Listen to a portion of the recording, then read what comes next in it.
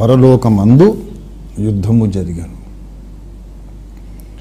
మికాయేలును అతని దూతలను ఆ ఘట సర్పముతో యుద్ధము చేయవలెనని ఉండగా ఆ ఘట సర్పము దాని దూతలు యుద్ధము చేసేది కానీ వాని వాళ్ళు గెలవలేకపోయేది గనుక పరలోకమందు వారికి ఇక స్థలము లేకపోయాను. దాన్ని విడదీసి చదివితే పరలోకమందు వారికి ఇక స్థలము లేకపోయాను. అంటే ఇక మీదట స్థలము లేదు. అంతవరకు ఉన్నది. అంతవరకు వాళ్ళకి పరలోకంలో కాస్త కూస్త చోటు ఉన్నది ఉన్నది కనుకనే యోబు గ్రంథంలో వాడు అన్నిసార్లు వెళ్ళి మాట్లాడి వచ్చాడు దేవుని దగ్గర. ఆ free access to come and to go. He has that power and access. అయితే ఆ మాత్రం ప్రవేశ అర్హత కూడా లేకుండా ఈ మొదటి అర్ధవారం ముగింపులో వీడు అక్కడ యుద్ధానికి వెళ్ళి అక్కడి నుంచి నీకు ఎప్పటికీ ఇక్కడ ప్లేస్ లేదు. నీ పదవిని తీసేశాను. అయినా నీకు బుద్ధి రాలేదు. నాకు విరోధమైన కార్యక్రమాలు చేశావు? మళ్ళీ ఇప్పుడు నా కుమారుని నేను సింహాసనం ఎక్కిస్తున్నప్పుడు యుద్ధానికి వస్తావు నువ్వు? దేవుడు తన ప్రచండ శక్తిని రిలీజ్ చేయగా మిఖాయిలు తన దూతలు వాళ్ళని తరిమి తరిమి కొడతారు. ఇంకెప్పటికీ ఈ పొలిమేర్లకు రావద్దు అని శాసనం. అప్పుడు పిచ్చెక్కుతుంది వాడికి. అయిపోయిందన్నమాట. మొత్తం మీద నేను పెట్టుకున్న ఆశలేవి నెరవేరవన్నమాట. అన్నయ్య విశ్వాధిపతి అయిపోయాడు. అన్నయ్య భార్య కూడా దొరికింది. వాళ్ళని జడగొట్టాలి. అన్నయ్యకు భార్య తయారు కాకూడదు అనే సంఘ నిర్మాణంలో కూడా నేను గొడవలన్నీ పెట్టాను. ఆటంకాలు సృష్టించా. విశ్వాసుల చేత కూడా పాపం చేయించా సేవకుల చేత కూడా పాపాలు చేయించా ఇన్ని చేసినా దేవుని కృపే గెలిచింది. కృప గెలిచింది. నేను పెట్టిన శ్రమలలో గుండా ఇంకా వాళ్ళు బంగారంలాగా కొలుములో పుటం వేయబడ్డట్టు పరిశుద్ధులే వచ్చేసారు అట్టర్లీ ఫెయిల్ అయిపోయాను నేను. అని సైతాను మిక్కిలి క్రోధము గలవాడై. దేవునికి సంబంధించిన ఎక్కడ ఏదైనా ఉంటే దాన్ని మొత్తం సర్వనాశనం చేయాలని పిచ్చి కోపముతో వాడు భూమి మీదకి వస్తాడు. ఇది రెండు అర్ధవారాల మధ్యలోనే. సంఘం ఎత్తబడుతుంది పెళ్ళైపోతుంది ప్లేస్మెంట్లు జరుగుతాయి. యేసుప్రభు వారు విశ్వాధిపతిగా ప్రకటించబడతాడు. ప్రకటించబడిన తర్వాత ఆ రెండవ అర్ధవారంలో వారు పరలోక మహిమలు ఆనందిస్తూ ఉంటారు. ఇంకా అక్కడ భూమి మీద గొడవలు మనకి ఇంక సంబంధం లేదు. నేను అనుకున్నా మనలో చాలామంది ముందు ఏసై పాదాలు ముద్దు పెట్టుకుంటాం. మన కళ్ళకద్దుకొని ఏసైని ముద్దు పెట్టుకుంటాం. మనలో చాలామంది ముందు వెళ్ళి హవ్వను పట్టుకుంటారు ఇంటర్వ్యూ. ఏమ్మా మహాతల్లి గమ్ముగా ఉండ ఉండదానివి ఉండవలసిన చోట ఉండకుండా ఆ సర్పంగాడితో ముచ్చటేసుకొని ఎందుకమ్మా నువ్వు ఇంత పని చేసావు నేను అనుకుంటా కొన్ని కోట్ల మంది అడుగుతారు హవ్వని. ఆ పండు ఎందుకు తిన్నావు? ఆదాం నాన్నకి ఎందుకు ఇచ్చావు?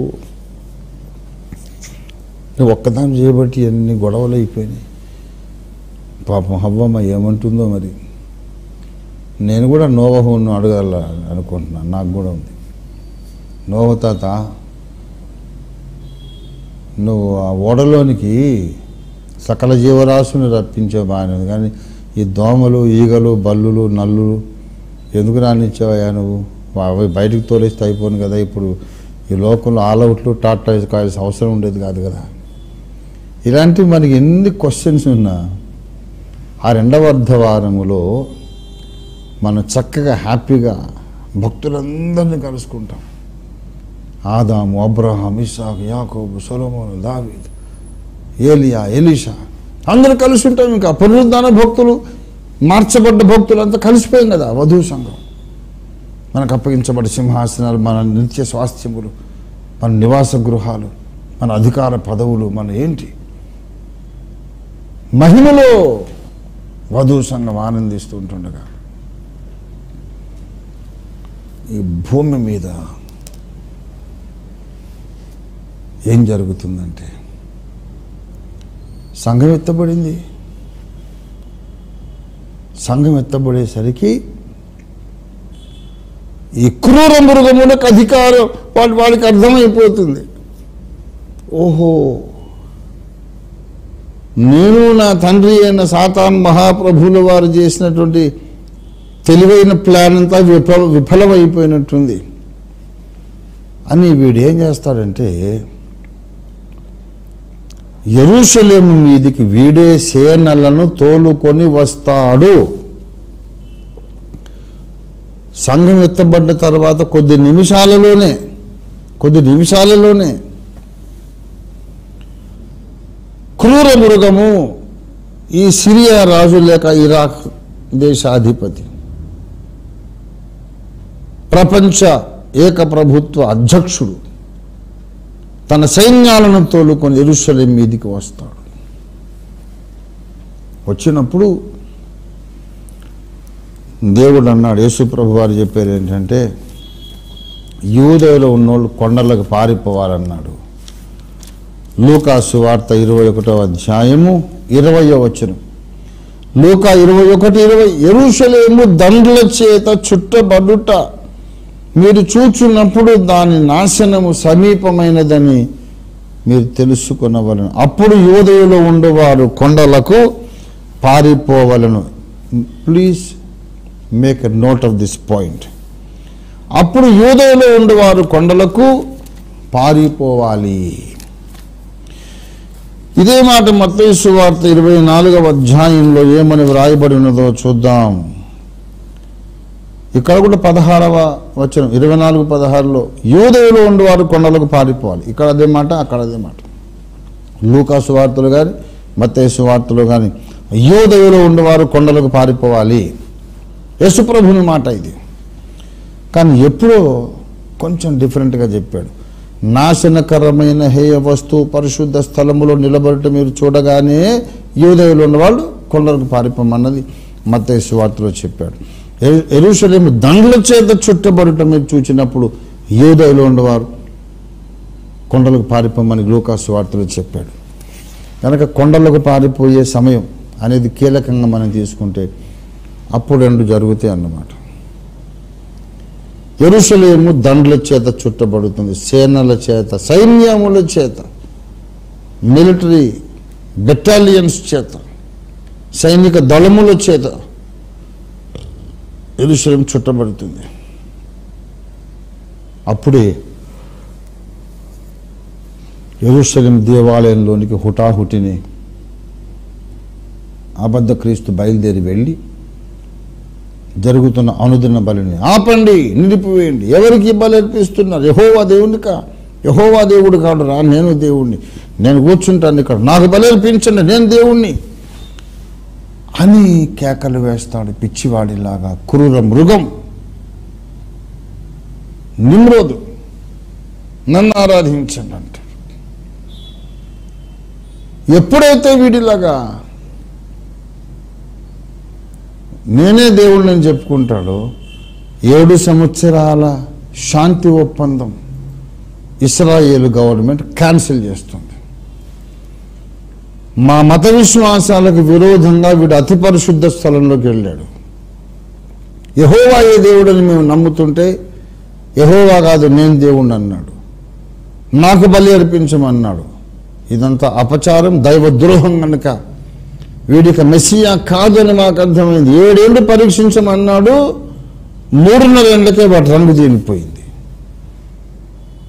వాడు కాదని మేము ప్రకటిస్తున్నాం. మేము మెస్సియా ఇతని గురించి ఏమాత్రం కూడా ఆలోచించే అవకాశం కూడా ఇవ్వడం లేదు. ఇస్రాయలీ గవర్నమెంట్ పార్లమెంట్ ఏకగ్రీవంగా తీర్మానం చేసింది. ప్రపంచాధిపతిగా ఏలుచున్న ఈ రాజు మా మెస్సియా కాడు అని ప్రకటించేస్తాడు. ప్రకటించినప్పుడు మీరు ఇలా చేస్తారని నాకు తెలుసురా ముందే అందుకే నా సైన్య వాహిని సేనా వాహినితో బెటాలియన్స్తో వచ్చాను. ఎరుసలేం చుట్టూ లక్షలాది సైన్యం అత్యాధునిక ఆయుధాలతో వచ్చి చుట్టుముట్టేస్తారు. అప్పుడు ఏం చేయాలంటే ఏసఐ చెబుతున్నాడు యూదయలో ఉండేవారు కొండలకు పారిపోవాలి. ఆ పారిపోతున్నటువంటి స్త్రీని మనం ప్రకటన పన్నెండవ అధ్యాయంలో చూస్తాం. రెండవ అర్ధవారంలో ఇస్రాయేలు జనాంగము కొండలకు పారిపోతున్నది. పారిపోవడం అనే మాటే రాయబడింది. లోక ఇరవై ఒకటిలోను మత్త ఇరవై నాలుగులోను పారిపోవాలి అన్నాడు. ప్రకటన పన్నెండు ఆరులో చూడండి. ఆ స్త్రీ అరణ్యమునకు పారిపోయింది. మళ్ళీ పారిపోవడమే. అదే ఇది ఇది అది. అదే సంఘటన ఇక్కడ చెప్పాడు. ఇక్కడ ఉన్నటువంటి ఈ స్త్రీ ఎవరంటే? ఇస్రాయేలు జనాంగము. ఇస్రాయేల్ జనాంగం. అందుకే ఆమెకు ఉన్నటువంటి ఆ లక్షణాలు చూడండి. సూర్యుడిని ధరించుకున్నది. అంటే యహోవా సూర్యుడు. ఆమె పాదముల క్రింద చంద్రుడు ఉన్నాడు. అంటే గుమ్మములు కింద పునాదుల మీద కొత్త నిబంధన అపోస్తలు ఉన్నారు కదా. పాదాల కింద అంటే పునాది బరువు మోసే వాళ్ళని అర్థం. పాదాల కింద చంద్రుడు అంటే గుమ్మాల కింద పునాదులు కొత్త నిబంధన సంఘం అని అర్థం. శిరస్సు మీద పన్నెండు నక్షత్రాల కిరీటం ఉంది. అంటే పన్నెండు గోత్రాలు కలిగినటువంటి ఇస్రాయల్ రాజ్యం. ఆమె పొరిటి నొప్పులతో కేకలు వేయుచుండెను. దాని తోక దానికి ఏడు తలలు పది కొమ్ములు ఉండెను. దాని తలల మీద ఏడు కిరీటములు ఉండెను. దాని తోక ఆకాశ నక్షత్రములలో మూడో భాగమును ఈడ్చి వాటిని భూమి మీద పడవేశాను కననయ్యున్న స్త్రీ కనగానే ఆమె శిశువును మృంగివేయవలనని ఆ ఘట సర్పం ఆ స్త్రీ ఎదుటి నిలిచి ఇవంతా కూడా వివరణాత్మకమైన దర్శనం. వివరణాత్మకమైన దర్శనం. ఏం లేదు ఈమె ఎవరో ఐడెంటిఫై చేయడానికి దేవుడు ఇవన్నీ మనకు చెబుతున్నాడు ఆమె లక్షణాలు. సమస్త జనములను ఇనుపదండముతో ఏలనయ్యున్న మగ శిశువును. సంఘము కాదు ఇది. సంఘం అయితే మగ శిశువు ఎప్పటికీ కాదు. సంఘం ఎప్పుడు ఆడ శిశువే. సంఘాన్ని స్త్రీలింగంతో మాట్లాడాడు కానీ పుంలింగంతో దేవుడు ఎప్పుడు వ్యవహరించలేదు. కాబట్టి క్రీస్తు ప్రభువును కన్న జనాంగం పన్నెండు గోత్రాలు కలిగిన జనాంగం కాళ్ళ కింద చంద్రుణ్ణి కలిగిన జనాంగం మరి సూర్యుడిని ధరించుకున్న జనాంగం రక్షకుడు ఆమె ఆమె లోపల నుంచి ఏ జాతిలోంచి బయటకు వచ్చాడో ఆ జనాంగం. ఇవన్నీ చూస్తే ఈమె ఎరుసలేము లేక ఇస్రాయేలు సంఘ ఇస్రాయల్ జనాంగం అనే స్త్రీ అని మనం ఐడెంటిఫై చేయొచ్చు. ఆమె అరణ్యమునకు పారిపోయాను ఎందుకు? దండ్ల చేత చుట్టుపడింది. ఏసై చెప్పినట్టు. అరణ్యంలోకి పారిపోయింది. దేవుడు ఆమెకు ఒక స్థలము సిద్ధపరిచి ఉంచెను. ఇవి ఇక్కడి నుంచి ఇలా పారిపోయింది. అప్పుడు పరలోకంలో యుద్ధం జరిగింది.